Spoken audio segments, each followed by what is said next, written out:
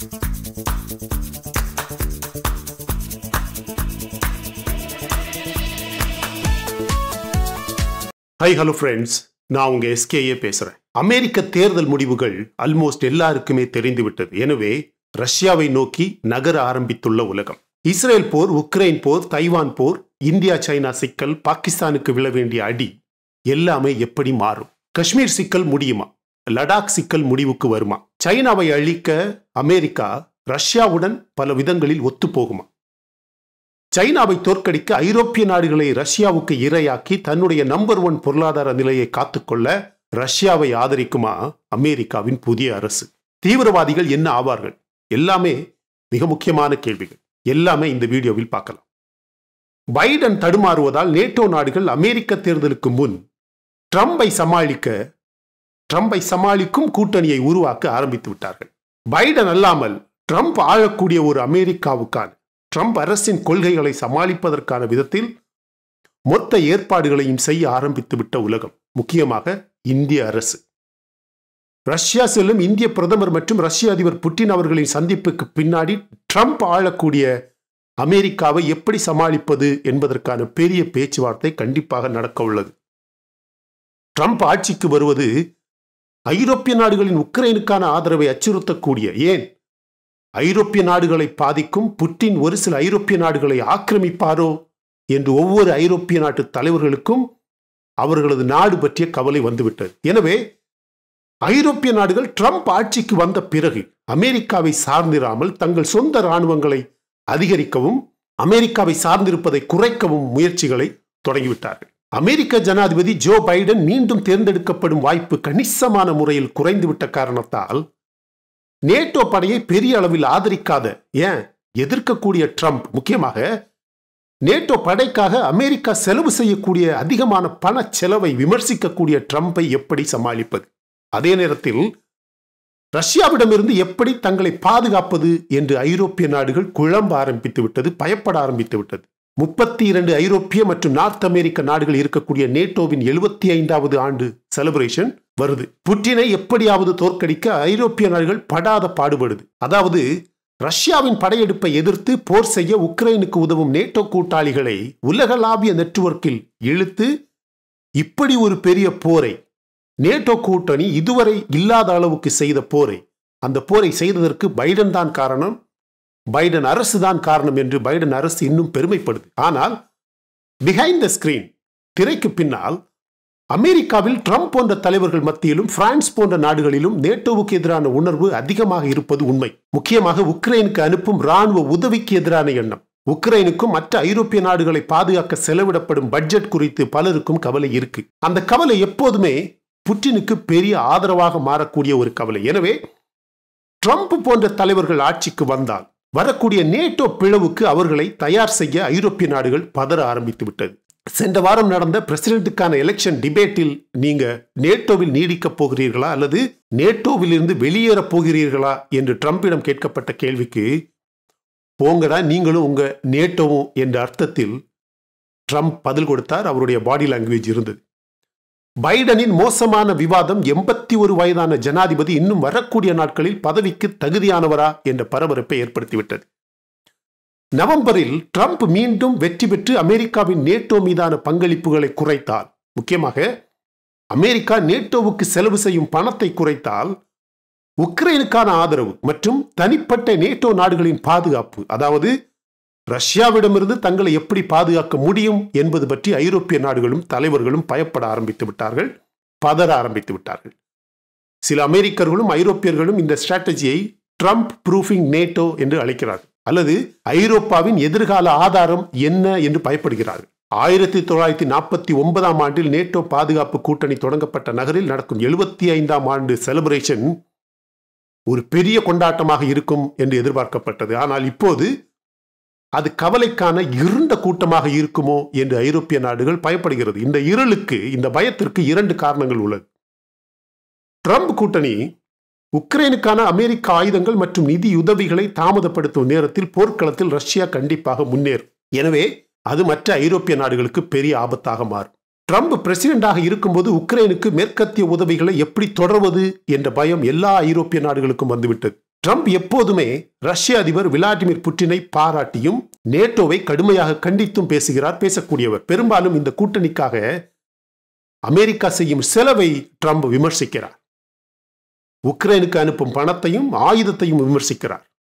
ஐரோப்பியர்கள் நேட்டோவுக்கு எந்த கான்ட்ரிபியூஷனையும் செய்யவில்லை என்று சாடுகிறார் விமர்சிக்கிறார். ஆல்மோஸ்ட் முப்பது ஆண்டுகளுக்கு முன்பு பைடன் கூட இதை விமர்சித்தவர்தான். ஆயிரத்தி தொள்ளாயிரத்தி தொண்ணூத்தி ஓராம் ஆண்டில் சோவியத் யூனியனை உடைத்ததும் ரஷ்ய அச்சுறுத்தலை குறைத்ததும் நேட்டோ தான் என்ற பெருமை இந்த மேற்கத்திய நாடுகள் தொடர்ந்து எடுத்துக்கொள்வது உண்டு. அந்த காரணத்தை பயன்படுத்தி நேட்டோவுக்காக அதிகமான பணத்தை செலவழிக்கும் காரணத்தை இவர்கள் கண்டுபிடிக்கிறார்கள். டெய்லி. நேட்டோவில் இருக்கும் முப்பத்தி இரண்டு நாடுகளில் இருபத்தி மூன்று நாடுகள் மட்டுமே மினிமம் பணத்தை டார்கெட் பட்ஜெட்டை செலவு செய்வதாக ரிப்போர்ட்ஸ் இருக்கு. இதில் இன்னொரு விஷயம் ட்ரம்ப் ஆட்சிக்கு வந்தால் அமெரிக்காவை நேட்டோவில் இருந்து வெளியேற்ற ஏதாவது ஐரோப்பிய நாடு வேலை செய்யுமா என்ற கேள்வியும் சந்தேகமும் பெரிய பெரிய வல்லுநர்களுக்கு உண்டு. பிரான்ஸ் நாட்டில் நடக்கும் தேர்தலில் அதிரடி முடிவு. பிரிட்டனில் நடந்த தேர்தலில் அதிரடி முடிவு. இது மாதிரியாக ஏதாவது ஜெர்மனியிலும் நடக்கலாம். உலக அளவில் இப்போது உக்ரைன் ஐரோப்பாவில் இப்போது உக்ரைன் நவம்பரில் போலந்தா என்ற பயம் எல்லாருக்குமே வந்துவிட்டது. அமெரிக்காவின் ஆதரவு இருந்தும் உக்ரைனை காப்பாற்ற முடியவில்லை. அப்படியானால் ட்ரம்ப் அரசு நேட்டோவுக்கான ஆதரவை குறைத்தால் போலந்தை எப்படி பாதுகாக்க முடியும்? பிரிட்டனை எப்படி பாதுகாக்க முடியும்? பிரான்ஸை எப்படி பாதுகாக்க முடியும் என்ற கேள்வி எல்லா ஐரோப்பிய நாடுகளுக்குமே வந்துவிட்டது. அப்படியானால் மேற்கத்திய நாடுகளுக்கு எதிராக ஐரோப்பிய நாடுகளுக்கு எதிராக ஒரு புதிய உலகை உருவாக்கும் ஒரு பெரிய போரில் மிஷனில் ரஷ்யா வெற்றி பெற்றதாகிவிடும் புட்டின் வெற்றி பெற்றதாகிவிடும் அந்த வெற்றிக்காகத்தான் புட்டின் எல்லா திட்டங்களையும் செய்கிறார். சைனா நார்த் கொரியா போன்ற ரோக நாடுகளை திருட்டு நாடுகளை கூட்டாளிகளாக்க வேண்டிய கட்டாயம் புட்டினுக்கு இருந்தது. போயும் போயும் பாகிஸ்தானை அட்ஜஸ்ட் செய்ய வேண்டிய ஒரு சூழல். அது புட்டின் குணத்துக்கு புட்டின் கெத்துக்கே ஒரு காம்ப்ரமைஸ் ஆனா நாம சொல்லக்கூடிய இந்த வழியில் புட்டினுக்கு வெற்றி கிடைத்தால் சைனா மாதிரியான ஒரு கேவலமான நாட்டின் சவகாசம் போலியான நட்பு புட்டினுக்கு தேவையே கிடையாது. ஐரோப்பா மீதான எல்லை சிக்கல் முடிந்தால் நேட்டோவால் வரும் அச்சத்தை புட்டின் சரி செய்து விட்டால் ரஷ்யாவுக்கு இருக்கும் ஒரே ஒரு எல்லை சிக்கல் எது அப்படின்னு நீங்க கேட்டீங்கன்னா சைனாவுடன் இருக்கும் எல்லை சிக்கல் மட்டும்தான். உக்ரைன் படைகளுக்கு கொடுக்கப்படும் பயிற்சி ஆயுதம் மற்றும் இராணுவ மற்றும் நிதி உதவிகளை அமெரிக்கா செய்யும் அளவுக்கு நேட்டோ நாடுகளால் கண்டிப்பாக செய்ய முடியாது. நேட்டோவில் இன்னும் அதிகமான ஐரோப்பிய நாடுகளை சேர்க்க வேண்டும் என்ற ஆசை அதிகமான ஐரோப்பிய நாடுகளுக்கு இருக்கு. ஆனால் இந்த இணைப்பால் அமெரிக்காவுக்குத்தான் செலவு அதிகம். ரஷ்யா இன்னும் அதிகமான விரிவாக்கத்தை செய்ய ஆசைப்பட்டால் புதிய பொருளாதார தடைகள் புதிய தண்டனைகள் இருக்கலாம். ஆனால் ட்ரம்ப் தலைமையிலான அமெரிக்கா நடவடிக்கை எடுக்காவிட்டால் ரஷ்யா மீண்டும் சென்டர் ஸ்டேஜுக்கு வந்துவிடும். அப்படியானால் ரஷ்யா மீண்டும் பொருளாதார வளர்ச்சியை நோக்கி நகரும். இதை தடுக்கத்தான் பல ஐரோப்பிய நாடுகளும் அமெரிக்க நாடுகளும் காலம் காலமாக முயற்சி செய்தார்கள். அப்படி ஒரு வளர்ச்சியை நோக்கி ரஷ்யா நகர ஆரம்பித்தால் புட்டினுக்கு சைனாவின் நட்பு தேவையே கிடையாது. நார்த் கொரியா நட்பு வேண்டவே வேண்டாம். பாகிஸ்தான் யாரு அப்படிங்கிற கேள்வி அவன் யாருன்னு தெரிந்து கொள்ள வேண்டிய தேவையே ரஷ்யாவுக்கு இருக்காது புட்டினுக்கு இருக்காது. புட்டின் அப்படித்தான் காலம் காலமாக இருந்தார். அப்படித்தான் இருந்தவர். தன்னுடைய தேவைக்காக மட்டுமே தற்போது இவர்கள் பக்கம் சாய்ந்தவர் புட்டின். வேறு வழி இல்லை. ஆனால் உண்மையான வளர்ச்சிக்காக பொருளாதார நலனுக்காக மட்டுமே இந்தியா போன்ற நாட்டின் உறவை நட்பை ஜெனியூனாக நாடியவர் புட்டின். ஜெனியூனாக நாடியது ரஷ்ய அரசு. எனவே ட்ரம்ப் ஆட்சிக்கு வந்த பிறகு சைனா மற்றும் நார்த் கொரியாவின் ஆதரவும் உதவியும் தேவைப்படாத நேரத்தில் இந்தியா ரஷ்யா கூட்டணியை எப்படி வலுவடைய செய்வது என்ற கேள்விக்கான பதில் இந்த ரஷ்யா இந்தியாவின் இருபத்தி இரண்டாவது சம்மிட்டில் முக்கிய பாயிண்டாக இருக்கும். போலந்தை யாராலும் காப்பாற்ற முடியாது. உக்ரைனை யாராலும் காப்பாற்ற முடியாது. அப்படியானால் ரஷ்யாவை யாராலும் தடுக்க முடியாது. இன்னும் மூன்றே மூன்று மாதங்கள் மட்டும்தான். நேட்டோவின் தலை உருளும். நேட்டோவின் தலை எழுத்தும் மாறும். ரஷ்யாவின் தலையெழுத்து மாறும். ஆனால் பை சான்ஸ் பைடன் ஆட்சிக்கு வந்தால் என்ன ஆகும் அப்படிங்கிற கேள்வி உங்க எல்லாருக்குமே வரும். இன்னும் அடுத்த நான்கு வருடங்கள் கேஓஸ் வில் கண்டினியூ இந்த குழப்பங்கள் தொடர்ந்து நடக்கும். இஸ்ரேல் காசா போர் தொடர்ந்து நடந்துகிட்டே இருக்கும். ரஷ்யா உக்ரைன் போர் காலம் காலமாக நடக்கும். சைனா வேறு வழியே இல்லாமல் தொடர்ந்து கண்ணை தள்ளும். இந்தியா உலகத்தின் இரண்டாவது பொருளாதாரமாக இரண்டாவது மிகப்பெரிய வல்லரசாக மாறும். துருக்கி அதிபர் எர்டோகன் இந்த வாரம் ரஷ்ய அதிபர் புட்டினை சந்தித்த அடுத்த நிமிடமே கொடுத்த இன்டர்வியூல சொல்றாரு மேற்கத்திய நாடுகளின் ஆயுத விற்பனைக்கான ஆசையில் உக்ரைனை பலியாக்கிவிட்டது. உண்மையிலேயே ரஷ்யா மீது எந்த தவறும் இல்லை என்ற கருத்தை வெளியிட்டிருக்கிறார். ஒரு நேட்டோ நாட்டு தலைவரே இப்படி சொல்லியிருப்பது உலகம் முழுவதும் ஒரு பெரிய குழப்பத்தை உருவாக்கியுள்ளது. ஆக மொத்தம் ட்ரம்ப் ஆட்சிக்கு வந்தால் லாபப்படுவது ஐரோப்பிய நாடுகளுக்கு பாடம் கற்பிக்கும் விதத்தில் ஐரோப்பிய நாடுகளை பழிவாங்கும் ஆசையில் ரஷ்யாவுக்கு வெற்றி. நேட்டோ சக்தியை குறைத்து விட்டோம் என்ற மகிழ்ச்சி.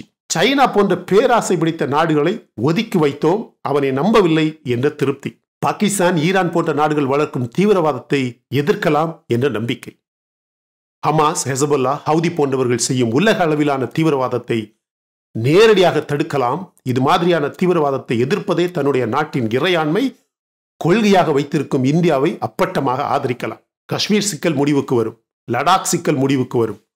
உலகத்தின் பாதி சிக்கல் முடியும். உலகம் அமைதியாகும். ரஷ்யா இந்தியா உறவு இந்தியாவை ஒரு பெரிய வல்லரசாக்கும். அது ரஷ்யாவுக்கும் நல்லது. இந்தியாவுக்கு சொல்லவே வேண்டாம். New satellite images reveal China's underground bunkers and extensive road network near Pangong Tso lake Pangong Tso lake அடிவாரத்தில் பெரிய பெரிய பாதாள கிடங்குகளும் பெரிய பெரிய அண்டர் கிரவுண்ட் பங்கர்ஸும் பெரிய பெரிய ரோடு சாலைகளும் நெட்வொர்க் சாலைகளும் செய்திருப்பதாக புதிய செயற்கைக்கோள் படங்கள் காட்டுது. சைனாவுக்கு பாங்காங்ஸோ ஏரியில் என்ன வேலை? அதே நேரத்தில் இந்தியாவின் டிஆர்டிஓ எல்என்டி ஜொராவர் போன்ற மிகப்பெரிய பீரங்கிகளை தயார் செய்து ஏகே டூ ஜீரோ த்ரீ போன்ற மெஷின் கன் பெரிய பெரிய துப்பாக்கிகளை எல்லைக்கு அனுப்ப ஆரம்பித்து விட்டார்கள். With an eye on China India unveils light battle tank Zorawar India's nuclear SS NB submarines shift strategic balance on Indian Ocean இந்திய பெருங்கடலில் இந்தியாவின் அணு ஆயுதம் ஏந்திய நீர்மூழ்கி கப்பல் எப்போதுமே தயாராக இருக்கு. இன்னொரு பக்கம் Indians and Tibetan celebrate eighty ninth birthday of Dalai Lama in Shimla Dalai லாமாவுடைய எண்பத்தி ஒன்பதாவது பிறந்த நாளை அபிஷியலாக இந்தியர்களும் திபெத்தியர்களும் இணைந்து கொண்டாடுறாங்க. ஏன்? அதை ஒரு இந்தியாவின் ஹாலிடேயாக மாற்றணும் my friends Taiwan government fines China made Huawei routers at its army base army ராணுவ தளத்துக்கு உள்ளாடியே சைனாவின் ஹுவாவை ரவுட்டர்ஸ் பயன்படுத்தியதாக தைவான் அரசு கண்டுபிடிச்சிருக்கு. அப்படின்னா தைவான் நாட்டுக்குள்ளேயே ஹேக் பண்ணுறான் Hamas signals flexibility in ceasefire talks with Israel eases demand for permanent ceasefire நேற்று ஒருத்தன் கேட்குறான் நம்ம கமனில் ஹமாஸ் சரண்டர் ஆச்சுன்னு சொல்கிறீங்களே ஆதாரம் காட்டுங்கன்னு. இதுதான் ஆதாரம். தன்னுடைய டிமாண்ட்ஸ் எல்லாம் குறைப்பதாகவும் சீஸ்ஃபயர் வேணும் அப்படின்னு இனிமேல் நாங்கள் போர் செய்ய தயாராக இல்லை. இஸ்ரேலுடைய கண்டிஷன்ஸுக்கு ஒத்துக்கிறோம். அமெரிக்கா கொடுத்த கண்டிஷன்ஸுக்கு ஒத்துக்கிறோம். சீஸ்ஃபயர் கொண்டு வருவோம் அப்படின்னு சொல்கிறான் இதை விட சரண்டர் என்ன வேணும்? ஆனால் நேற்று night Netanyahu prime minister Netanyahu புது புது கண்டிஷன்ஸை இன்ட்ரடியூஸ் பண்ணி இதுக்கு நீங்கள் ஒத்துக்கிறீங்களா அப்படின்னு கேட்டிருக்கிறதாக ஒரு செய்தி வந்திருக்கு. அப்படின்னா சீஸ்ஃபயர் வராதோ அப்படிங்கிற சந்தேகம் வந்திருக்கு. ஹாஸ்டேஜ் டீல் முக்கியமாக தெரியல நத்தன்யாவுக்கு. உனக்கு சீஸ்ஃபயர் வேணும்னா நான் புது புது கண்டிஷனாக சொல்லுவேன் நீ ஒத்துக்கணும். ஏற்கனவே சொன்ன கண்டிஷன்ஸ்க்கு நாலு வாரம் ஒத்துக்க முடியாதுன்னு சொன்ன ஹமாஸு இன்னைக்கு திடீர்னு ஒத்துக்கிட்டான். உடனடியாக நத்தன்யாகு புது புது தாக்குதல்களை புது புது சிட்டியில் தொடங்கினார். ஹெசபல்லாவை எப்படி தாக்கலாம் எப்படி ஒரு நீண்ட போரில் ஈடுபடுத்தலாம் அப்படின்னு ஒரு பக்கம் ஆரம்பிக்கிறார். எனவே ட்ரம்ப் வருவது மொத்த வேர்ல்டு டைனாமிக்ஸ் முக்கியமாக வார் டைனாமிக்ஸை பார்த்துது மை டியர் ஃப்ரெண்ட்ஸ் இதில் எப்படி பார்த்தாலும் எந்த கோணத்தில் பார்த்தாலும் ரொம்பவும் ஆதாயப்பட போகிறது யாருன்னு கேட்டிங்கன்னா இந்தியா மாதிரியான ஒரு ஸ்ட்ராட்டஜிக் பேலன்ஸ் இருக்கக்கூடிய நாடு. அணிசேரா கொள்கைன்னு சொல்லலை. கரெக்டாக எந்த நேரத்தில் எந்த காயினை நகர்த்துனா இந்தியாவுக்கு லாபம் நல்லது அப்படின்னு யோசிக்கக்கூடிய ஒரு முறையில் ஒரு வழியில் ஒரு ஒரு ஒரு ஸ்டேபிளான நிலையில் ஒரு நிலைப்பாட்டில் இருக்கக்கூடிய நம்ம நாட்டை பற்றி பேசுகிறேன் கண்டிப்பாக யார் எங்கே என்ன பண்ணினாலும் நமக்கு லாபம். சரியா? பைடன் அரசு வந்தாலும் இந்தியாவை நம்பி இருக்க வேண்டிய சூழல். ஆனால் ட்ரம்ப் அரசு வந்தால் இந்தியாவுக்கு எல்லா பக்கமுமே லாபம். அது ரஷ்யாவுக்கு மிகப்பெரிய லாபம். அந்த நேரத்தில் தான் நம்ம இவ்வளவு காலமாக கட்டி காத்த நட்போட பயன் வந்து நமக்கு இன்னும் அதிகமாக கிடைக்கும். இதில் பாதிக்கப்பட போகிறது யாருன்னு கேட்டிங்கன்னா அமெரிக்காவை விட அதிகமாக சைனா. அப்படிங்கிற திருப்தியில் இந்த வீடியோ உங்களுக்கு பிடிச்சிருந்தா லைக் பண்ணுங்கள் இதை பற்றி நீங்கள் என்ன யோசிக்கிறீங்க என்ன நினைக்கிறீங்க அப்படிங்கிறத கமெண்ட் செக்ஷனில் பதிவு பண்ண மறந்துடாதீங்க. இன்னும் நம்ம சேனல் நீங்கள் சப்ஸ்கிரைப் பண்ணலன்னா மற்ற வீடியோஸ் பாருங்கள் உங்களுக்கு கண்டிப்பாக பிடிக்கும் மை டியர் ஃப்ரெண்ட்ஸ் பிடிச்சிருந்தா சப்ஸ்கிரைப் பண்ணால் போதும். Thank you so much my dear friends for வாட்சிங் all my videos and supporting my channel and I come back with my next awesome video it's bye bye from Suresh stay safe stay positive stay active and stay fit and always dream begin in your life நம்மளால எப்பவுமே எதையுமே எங்கேயுமே சாதிக்க முடியும் அப்படின்னு நம்ம first நம்பணும் my friends and as I always say please take care of your parents at your home உங்கள் அப்பா அம்மாவை உங்கள் வீட்டிலே வச்சு நல்ல சந்தோஷமாக பார்த்துக்குங்க ஃப்ரெண்ட்ஸ் தேங்க்யூ